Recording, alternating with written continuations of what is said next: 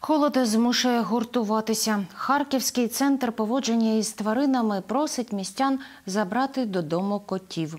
Вони живуть у вольєрах, які центр не зможе опалювати. Щоб заохотити майбутніх господарів, пропонують їм безплатно надати корм, іграшки та переноски для хвостатих. Цей пухнастий красень уваги не любить. До рук іде, коли сам вирішить. Прозвали його кіборг за те, що вижив на вулиці, хоча за ознаками раніше був домашнім котом. Він звик е, саме до однієї жінки, яка у нас е, доглядає тварин, вона їх годує, вона за ними прибирає. Можливо, е, він просто саме прикипів до цієї жінки, або вона, можливо, йому нагадує колишню власницю. Тому він так спокійно сидить у неї на ручках. До притулку кіборг потрапив із задавненим пораненням. Судячи з того, в якому стані була у нього лапа, е, поранення було досить давно. І це, ну, це йому доставляло дискомфорт, біль. Вранці вже були некротичні процеси, тому лікарі прийняли е, таке досить тяжке рішення з ампутації лапи. Він ще не зовсім звик ходити на трьох лапках, але пройде час. І він все ж таки зможе вже нормально ходити.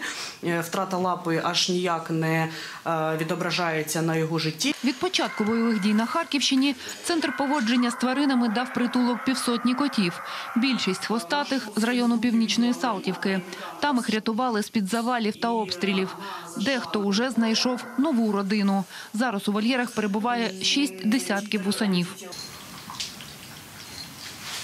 Та тримати таку кількість чотирилапих тут уже не в змозі. Котячий будиночок опалюють газом, розплатитися за який нічим. Це велика споруда з великими вольєрами просторими.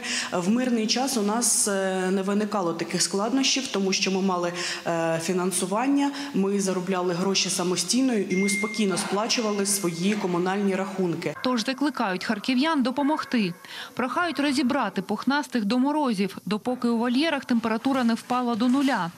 Разом із благодійниками вирішили заохотити потенційних власників. Ми е, разом з командою ініціативи Save Pets of Ukraine е, виділяємо для е, кожної тваринки корм, 3 кілограми корму.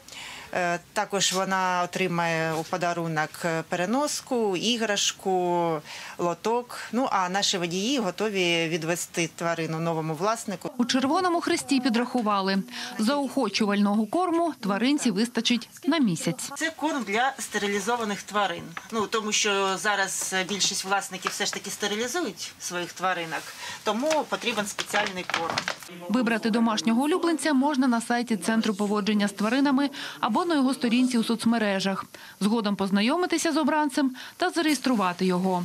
Крім того, у центрі просять харків'ян приносити теплі речі, щоб утеплити вуличні вольєри для собак. Підійдуть старі ковдри, пальта без пуху та пір'я.